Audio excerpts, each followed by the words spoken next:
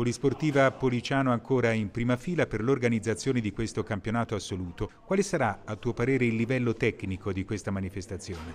Direi che questo qui è il livello diciamo, alto perché porta i migliori atleti azzurri a competere in una disciplina che è il mezzo fondo prolungato 10 km anche se poi mancano alcune punte particolari, ma diciamo che il meglio dell'atletica sarà presente domenica ad Arezzo proprio per eh, conquistare questo titolo che non sarà così acquisito ecco, già alla partenza, quindi ci sono diversi soggetti, diversi atleti che potranno competere fra di loro per poter raggiungere questo obiettivo. A Stefano La Rosa domandiamo, lui ha partecipato in passato a questa manifestazione, conosce l'ambiente di Arezzo, è una gara difficile in grado di fare selezione?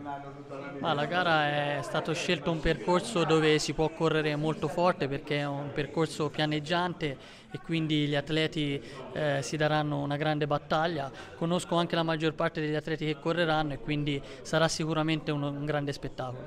Arezzo quindi è ancora al centro del podismo nazionale. Arezzo si presta per questo tipo di manifestazioni, eh, è bene che il campionato italiano di 10 km si svolga appunto ad Arezzo perché la Polisportiva Policiano e la famiglia Sinatti sa veramente di cosa si tratta e organizzerà al meglio questa manifestazione.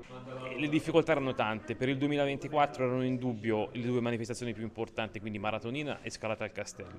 In realtà, lavorando tutti insieme, non solo la scalata a castello si è già tenuta, la maratonina si terrà a fine mese, ma abbiamo questa ulteriore manifestazione importantissima perché è un campionato assoluto, quindi una gara di livello nazionale e quindi questo dimostra che collaborando tutti insieme otteniamo ottimi risultati.